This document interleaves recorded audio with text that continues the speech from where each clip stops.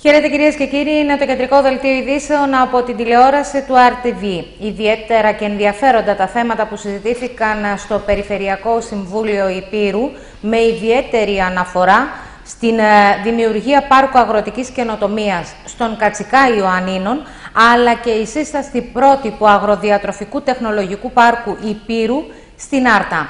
Στην τοποθέτησή του, ο Αντιπεριφερειάρχης Άρτας Βασίλης Ψαθάς ε, τόνισε ότι είναι υπέρ της σύστασης του ΠΑΤΕΠΗ, όπως λέγεται ε, το τεχνολογικό πρότυπο αγροδιατροφικό πάρκο Υπήρου και ότι στην παρούσα φάση ο ρόλος της περιφέρειας Υπήρου δεν μπορεί παρά να είναι ουσιαστικός. Ε, έχουμε κοντά μας τον Αντιπεριφερειάρχη Άρτας, τον κύριο Βασίλη Ψαθά. Κύριε Ψαθά, καλησπέρα. Καλησπέρα σας. Τελικά με την ίδρυση του αγροδιατροφικού πάρκου για να το κάνουμε πιο ακόμη εμείς, ε, να το πούμε πιο αναλυτικά, για να το καταλαβαίνουμε όλοι, ήταν ε, ένας όρος, αν θέλετε, μία προϋπόθεση για τη συνένωση μεταξύ ΤΕΗ Πανεπιστημίου. Τώρα έρχεται ξανά στο προσκήνιο, όπου ναι μεν φουντώνουν οι αντιδράσεις για το τι τελικά είναι το ένα, τι θέλει να κάνει η περιφέρεια και πώς εμπλέκονται μεταξύ τους. Υπάρχει αλληλοκάλυψη; Κοιτάξτε, ε, σύμφωνα με τους ε, καταστατικούς σκοπούς του κάθε ενός υπάρχει, υπάρχει εντελώς διαφορετικό και ξεχωριστό αντικείμενο. Το κέντρο καινοτομίας που θα συσταθεί στο Κατσικά των Ιωαννίνων είναι περισσότερο προς την εφαρμοσμένη κτηνοτροφία, δηλαδή να το πω πιο απλά είναι κυρίως για την, για την κτηνοτροφία στην Ήπειρο, το οποίο σχετίζεται ε, με, κυρίως με εφ, εφαρμοσμένη, εφαρμοσμένες πρακτικές, δηλαδή ε, ενώ το πάρκο που θα συσταθεί με βάση την ομοθεσία ε, περί ίδρυσης του Πανεπιστημίου Ιωαννίνων είναι ένα διαφορετικό ε, αντικείμενο, είναι διαφορετική η στόχη και η σκοπή που θα συσταθεί και φυσικά υπάρχει μια εντελώς ε, διαφορετική προσέγγιση των δύο αυτών ε, κέντρων. Μισό λεπτό να τα ξεκαθαρίσουμε. Κέντρο καινοτομίας θέλ... κρέατος στην Άρτα. Ακριβώς. Ε, συν το ότι θα γίνει και ένα κέντρο καινοτομίας κρέατος στην Άρτα. Τώρα, επειδή μπερδευόμαστε με πολύ, ε, ναι. αναφέροντας πάρα πολύ τη λέξη καινοτομία, να ξεκαθαρίσουμε το εξής ότι τα κέντρα καινοτομίας είναι μια προγραμματική συμφωνία που έχει γίνει μεταξύ της Περιφέρειας Υπήρου και του Πανεπιστημίου Ιωαννίνων σχετικά με τον πρωτογενή τομέα στην Ήπειρο. Δηλαδή θα συστήσουμε τρία κέντρα τα οποία ε, θα έχουν σχέση με τον πρωτογενή τομέα, τα οποία ε, θα έχουν κυρίως ε, πρακτική εφαρμογή. Τώρα, αυτά δεν έχουν νομική υπόσταση ακόμη, όπως είναι κατανοητό, θα πρέπει να αποκτήσουν μια οντότητα, μια νομική οντότητα, η οποία θα γίνει, θα γίνει εν καιρό. Πάμε τώρα στο κέντρο που υπήρξαν κάποιες αντιδράσεις και ε, εδώ θέλω να τονίσω ότι δεν είναι κανείς μα κανείς από την, ε, από την περιφέρεια Υπήρου αρνητικός στο να γίνει το τεχνολογικό πάρκο το οποίο προβλέπεται με βάση τη σύσταση και του Πανεπιστημίου Ιωαννίνων και την ίδρυση των νέων τμήματων του Πανεπιστημίου Ιωαννίνων. Όμως, ο ρόλος της περιφέρειας είναι, αυτή τη στιγμή είναι πέρα για πέρα διακοσμητικός. Και τι θέλω να πω με αυτό; Σύμφωνα με τον νόμο, και επαναλαμβάνω, ο νόμος που ψηφίστηκε επί ΣΥΡΙΖΑ και αναφέρεται στη σύσταση του νέου Πανεπιστημίου Ιωαννίνων, αναφέρει ότι θα συσταθεί και ε, νέο αγροδιατροφικό ε, κέντρο ε, τεχνολογίας. Άρα είναι στο χέρι του Πανεπιστημίου Ιωαννίνων. Εκεί θέλω να καταδείξω και να σας το εξηγήσω. Σύμφωνα με την ε, υφιστάμενη νομοθεσία, με τον νόμο που σας ανέφερα ε, πιο πριν, το πρώτο βήμα πρέπει να γίνει από την σύγκλιτο του Πανεπιστημίου διαμέσου του Πρίτανη όπου θα παραχωρηθεί έκταση σε, στην εταιρεία διαχείρισης και αξιοποίησης περιουσίας του Πανεπιστημίου η οποία είναι και ο κύριος φορέας που θα λειτουργήσει και θα συστήσει το κέντρο του τεχνολογικού αυτό πάρκο. Κατόπιν, εφόσον παραχωρηθεί έκταση και ο επίσημος φορέας του Πανεπιστημίου ξεκινήσει την όλη διαδικασία, εδώ είμαστε να μας ζητήσει τη βοήθειά μας, εδώ είμαστε να σταθούμε αρρωγοί και σε επίπεδο χρηματοδότησης αλλά και σε επίπεδο λειτουργίας αυτού του τεχνολογικού πάρκου. Άρα αυτή τη στιγμή ε, στην, στη συγκεκριμένη περίπτωση που υπήρξαν για κάποιες αντιδράσεις λόγω του ότι δεν υπήρξε η σωστή πληροφόρηση και η κατανόηση για το πώς θα δουλευτεί αυτό και πώς θα λειτουργήσει, εμείς είμαστε σε αναμονή γιατί τον πρώτο λόγο τον έχει το Πανεπιστήμιο Ιωαννίνων. Ε, κύριε Ψαφά, πάμε τώρα πίσω από τις λέξεις. Κέντρο καινοτομίας κρέατος ε, στην Άρτα. Κέντρο για αρωματικά φυτά στον Κατσικά Ιωαννίνων. Όταν όμως έχουμε ένα τη σχολή γεωπονίας εδώ στην Άρτα, η οποία έχει παρουσιάσει ερευνητικά προγράμματα, ερευνητικό έργο, έχει συμμετάσχει αν θέλετε σε ευρωπαϊκά άλλα προγράμματα και ο ουσιαστικός ρόλος είναι αυτός, να αναδεικνύει, να πειραματίζεται, να βγάζει προς τα έξω πληροφορίες, να συνδέει την αγροτική παραγωγή γενικότερα με τα, με τα νέα μέσα, να συνδέει την τεχνολογία με την αγροτική παραγωγή. Γιατί θα πρέπει να υπάρχουν τρία κέντρα που απλά τα ονοματίζουμε αλλιώς και το καθένα ουσιαστικά, λέω εγώ τώρα, έχει το ίδιο αντικείμενο. Κοιτάξτε, το κέντρο καινοτομίας κρέατος ε, πρόκειται να συσταθεί στην Άρτα. Δεν πρόκειται να πάει κάπου αλλού. Ναι, ναι. Απλά αυτή τη στιγμή γίνεται, η, η πρώτη, ε, η, γίνεται το πρώτο βήμα με ένα κέντρο το οποίο θα συσταθεί στις ίδιες εγκαταστάσεις του Εθιαγέ στα Γιάννενα, έτσι, στη, συγκεκριμένα στο Κατσικά. Από εκεί και πέρα υπάρχει μια, υπάρχουν κάποιοι περιορισμοί οι οποίοι ε, δεν αφορά τον κόσμο όσον αφορά την επιστροφή ναι. χρημάτων και κάποιες υπηρεσίες που θα πρέπει να πάψουν να λειτουργούν, αλλά σας επαναλαμβάνω ε, ότι η λειτουργία αυτών των ερευνητικών κέντρων θα λειτουργήσουν σε όλη την περιφερειακή ε, έκταση της Υπήρου δεν, δεν θα πρέπει να το δούμε τοπικιστικά και θα πρέπει να σκεφτόμαστε και με περιφερειακή συνείδηση. Δηλαδή θα πρέπει όλα ό,τι σχετίζονται με το πρωτογενή τομέα να τα κάνουμε στην Άρτα; Όχι. Ό,τι σχετίζεται όμως με το, το ερώτημα δεν αφορά εσάς, είναι ρητορικό ναι, ναι. και για μένα και για όλο τον κόσμο. Βεβαίως. Γιατί και, τα, και ο νομός Ιαννίνου, όπως ε, είναι γνωστό, έχει ένα μεγάλο ε, μέρος της κτηνοτροφίας. Δεν πρέπει να τα κάποια πράγματα τα αμελούμε. Απλά εδώ Άρα, είναι η σχολή γεωπονίας, κύριε Ψαφά. Η σχολή γεωπονίας, να ξέρετε ότι για μένα καταρχήν έχω κάποιες διαφωνίες για το πώς έγινε αυτή η σχολή. Σημασία έχει ότι η γεωπονική αυτή η σχολή ασφαλώς και θα στηριχτεί από την πλευρά μας, αλλά πάνω απ' όλα σας ε, επαναλαμβάνω ότι το τεχνολογικό αυτό πάρκο που προβλέπεται διαμέσου του Πανεπιστημίου θα πρέπει το πρώτο βήμα τον έχει το Πανεπιστήμιο. Mm Κάποιοι καλοθελητές που θέλουν να βάλουν κατά της περιφέρειας οφείλω πραγματικά να τους πω να προσαρμοστούν με την πραγματικότητα και την αλήθεια. Και η αλήθεια είναι ότι το πρώτο βήμα θα πρέπει το Πανεπιστήμιο Ιωαννίνων να το κάνει. Όταν υπάρχει η υποδομή στο κάμπους των Κωστακιών, ε, ε, έχουν φτάσει σε εσάς και εννοώ στην περιφέρεια. Και σε εσάς βέβαια κυρία την Περιφερειάρχα, γιατί ουσιαστικά εσείς είστε εδώ πέρα, εσείς ασκείτε τον, το ρόλο αυτό στην Άρτα. Ότι υπάρχουν ε, δυσκολίες ή οτιδήποτε ή μέχρι τώρα έχει καθυστερήσει να γίνει για οποιοδήποτε λόγους ή δεν έχει έρθει κανείς σε επαφή μαζί σας από το Πανεπιστήμιο μετά τη συνένωση. Τώρα, κυρία, κυρία Ευαγγελίου, θέλετε να σας πω την αλήθεια; Τι, για την αλήθεια μιλάμε. Έτσι, επειδή και κάποιοι είναι πανεπιστημιακοί, κάποιοι από αυτούς μεγαλοπιάνονται. Τι σημαίνει αυτό; Έχουν κάθε δικαίωμα, είναι δικαίωμά τους, να με αγνούν. Καλά κάνουν δικαίωμά τους. Αυτό λέει πολλά. Γιατί αν αρχίσουν, ε, ε ξέρετε, να μπαίνουν τέτοια ζητήματα και πάλι, θα φτάσουμε στο σημείο που είμαστε πριν από 4-5 χρόνια, που ε, λέγαμε για φοιτητές, για υποψηφίους, για το πώς θα προσελκύσουμε περισσότερους υποψηφίους, αλλά δεν γίνεται να αλλάζουμε μόνο ναι. τίτλους. το θέμα λέω... είναι να υπάρχει ουσιαστική αναβάθμιση στις σχολές, να υπάρχει ουσιαστικό αντικείμενο, να υπάρχει ουσιαστικός προσανατολισμός και στο τέλος και επαγγελματικά δικαιώματα για να ξέρει και ο κάθε ε, φοιτητής που θα έρθει μεθαύριο το τι θα κάνει. Αλλιώς δεν κάνουμε κάτι. Λέω εγώ από τη δική μου την πλευρά και δεν ξέρω ποια είναι η δική σας άποψη. Εσείς καλά κάνετε και λέτε, αλλά από την πλευρά μου δεν έχω συνηθίσει να λέω μισόλογα. Βεβαίως. Και θέλω ε, και αυτό. Πάντα που, λέτε τη, τη γνώμη σας. Ε, και αυτό είναι προς τιμήν σας. Έτσι, έχω το θάρρος της γνώμης μου και λέω αυτό το πράγμα. Όπως ε, ξανά θα το πω, ότι κάποιοι αρμενίζουν στραβά και δικαίωμά τους επαναλαμβάνω και φυσικά έχουν κάθε δικαίωμα να με αγνοούν. Σωστά. Πολύ σωστά το θέτετε.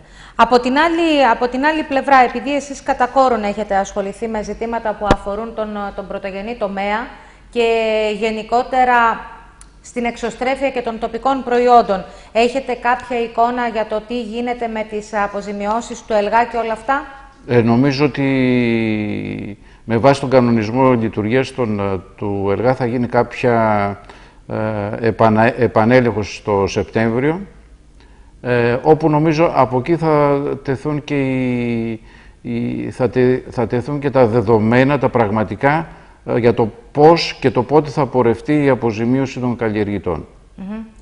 Ε, υπάρχει βέβαια και το θέμα με το φυτικό κεφάλαιο, το οποίο δεν αποζημιώνεται μέσω του ΕΛΓΑ, αλλά μέσω των ΨΕΑ και εκεί υπάρχουν μεγαλύτερες καθυστερήσεις. Μέχρι στιγμής δεν έχει βρεθεί κάτι που να διευκολύνει ε, τις, ε, τις εργασίες αυτές και τις διαδικασίες αυτές, κύριε Ψαφά. Θέλετε να γυρίσουμε λίγο την κουβέντα πίσω, θέλετε να μιλήσουμε για τα ψέα, θέλετε να, να κάνουμε ε, την απλή αναφορά για τα ψέα το, από τις πλημμύρες του 2015. Έχω αναρωτηθεί και δημοσίως, ε, σας το έχω πει, ότι προσωπικά δεν γνωρίζω αν έχει κατατεθεί φάκελος ψέα από, την, ε, από, από τον ΕΛΓΑ στα αντίστοιχα όργανα της Ευρωπαϊκής Κοινότητας. Άρα, για ποια ψέα μιλάμε;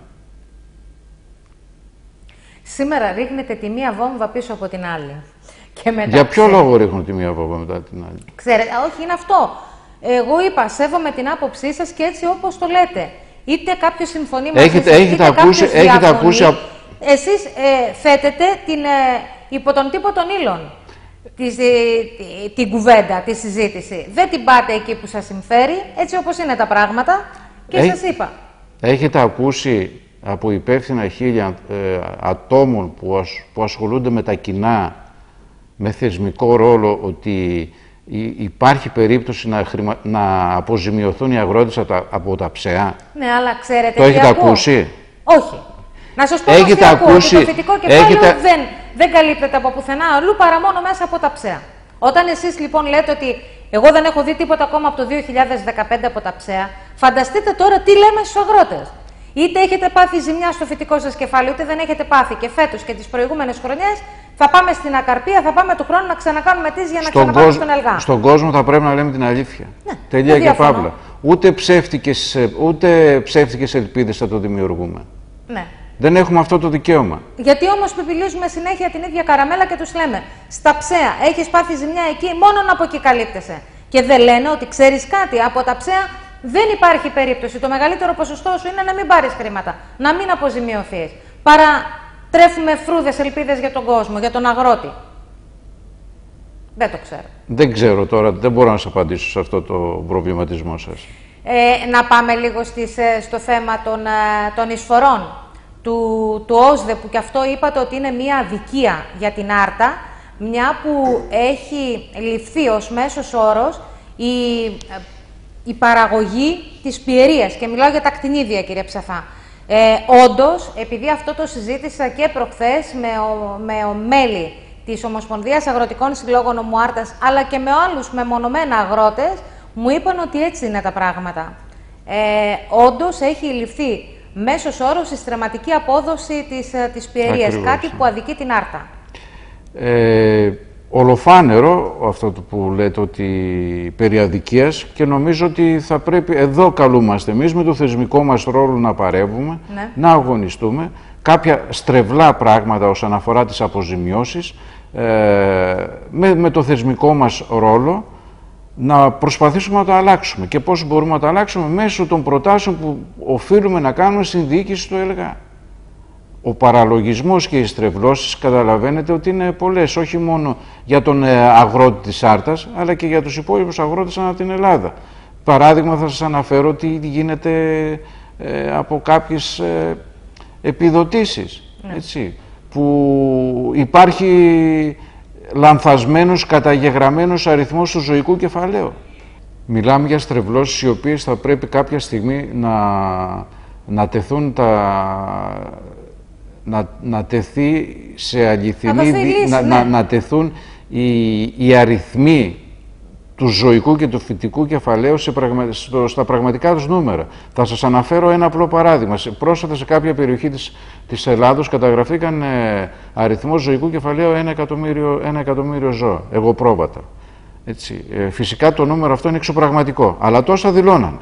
Τώρα, με βάση το νούμερο αυτό, ε, πολλοί κτηνοτρόφοι παίρνουν αποζημιώσεις οι οποίες αποζημιώσει ήταν σε βάρος κάποιας άλλης περιοχής όπου, υπήρχε, όπου υπήρχαν πιο, πιο πραγματικά και πιο ειλικρινή νούμερα. Δηλαδή, οι ίδιοι κτηνοτρόφοι δηλώναν τον πραγματικό αριθμό των ζώων. Άρα, μιλάμε για μια μεγάλη στρέβλωση. Κάποιος αδικείται και κάποιος επωφελείται για, για ιδίο όφελο.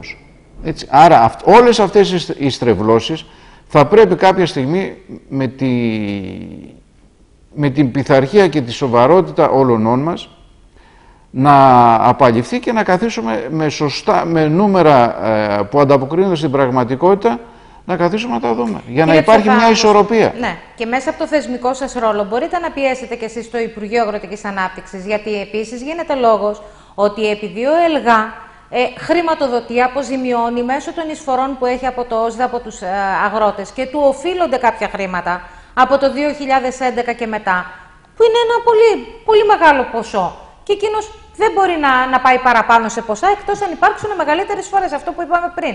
Δεν μπορείτε να πιέσετε. Κοιτάξτε, κοιτάξτε να, να βάζουμε τα πράγματα σε μια σειρά.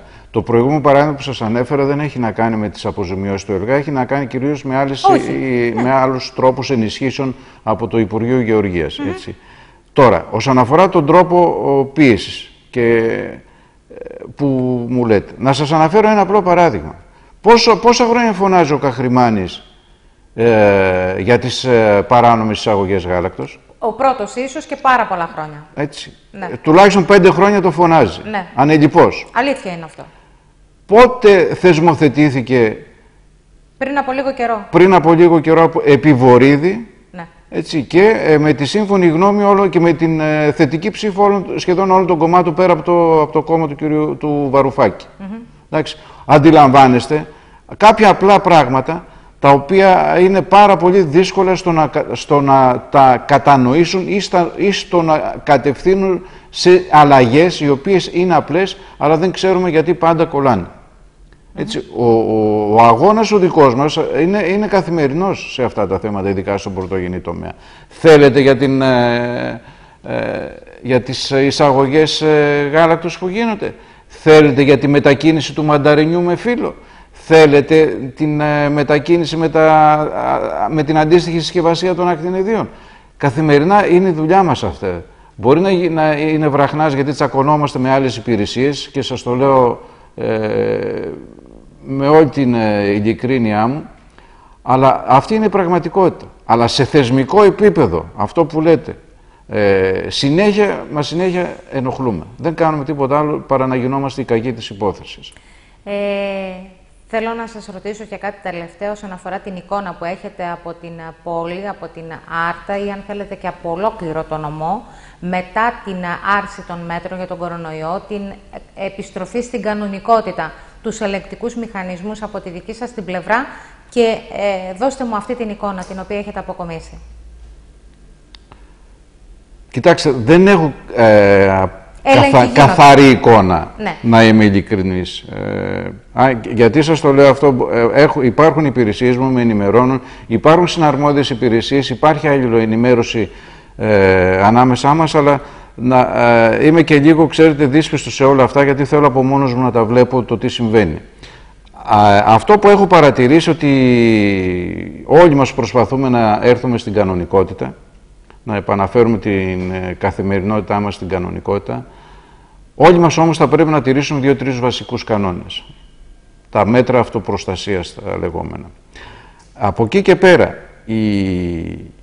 έχοντας υπόψη την ε, επαναφορά μας στην κανονικότητα, θα πρέπει, ειδικά σε χώρους που υπάρχει ε, μαζική προσέλευση κόσμου, να, είναι, να είμαστε προσεκτικοί. Τόσο εμείς, όσο και οι ίδιοι οι καταστηματάρχες.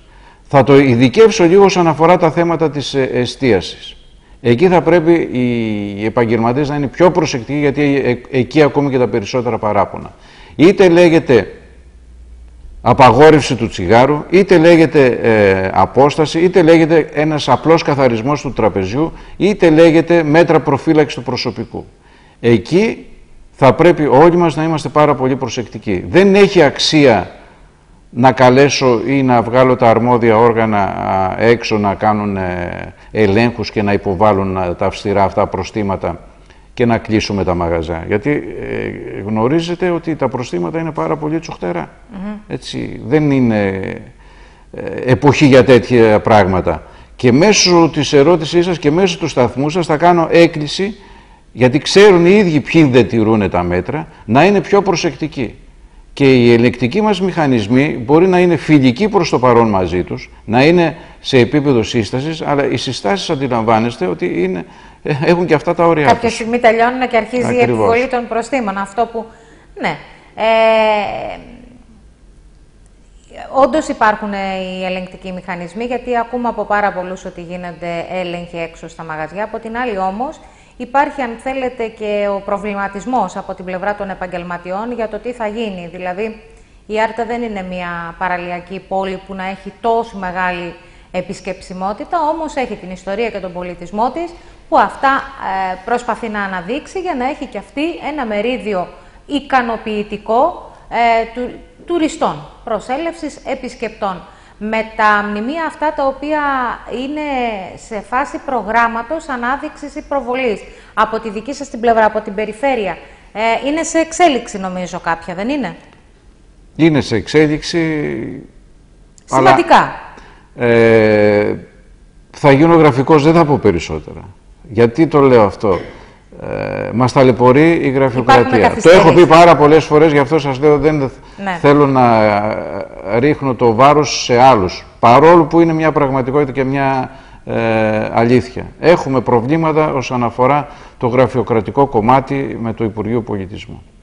Είτε λέγεται η ΜΑΡΕΤ, είτε λέγεται μελέτες ε, αποκατάστασης παρηγορήτης σας, ε, είτε λέγεται μεγαλόχαρη, μια απλή εκκλησούλα βυζαντινή της Μεγαλόχαρης θέλει κάς. Αντιλαμβάνεστε ε, όσες προσπάθειες και να κάνουμε. Καλά να θέλει κάς όταν είναι στην αρχική μελέτη, όταν χρειάζεται να γίνουν κάποιες διορθώσεις, μετά δεν περνάει τουλάχιστον να δουν αυτό εκεί όπου έχει διορθωθεί και να πάει παρακάτω να συνεχιστεί η διαδικασία. Ξαναγυρνάμε πάλι τον τροχό από την αρχή, κύριε Ψαβά. Τώρα δεν έχει νόημα να λέμε τη γραφειοκρατική όλη διαδικασία. Υπάρχουν πάλι τον προβλήματα τα οποία μας ε, δυσκολεύουν να φανταστούμε. Καταλάβαμε. Δεν έχει και νόημα, δηλαδή θα γίνουμε ε, ανακόλουθοι και με τον κόσμο. Γιατί από τη μια χαιρόμαστε που γίνεται ένα βήμα, από την άλλη η ίδια γραφειοκρατία μας οδηγεί δύο βήματα ναι, πάλι πίσω. Αυτά δεν τα ξέρει και νομίζω ότι καθυστερήσεις. Και δεν τον ενδιαφέρει τον κόσμο. Ναι, αλλά οφείλονται και σε εσάς όμως οι καθυστερήσεις. Λένε. Εγώ οφείλω να πω την αλήθεια όμως. Έτσι. Έτσι. Και να ξεκαθαρίσω. Και σας την εκτιμήσω κάθε πολίτης. Να σας ευχαριστήσω. Καλή συνέχεια. Και εγώ σας ευχαριστώ πολύ.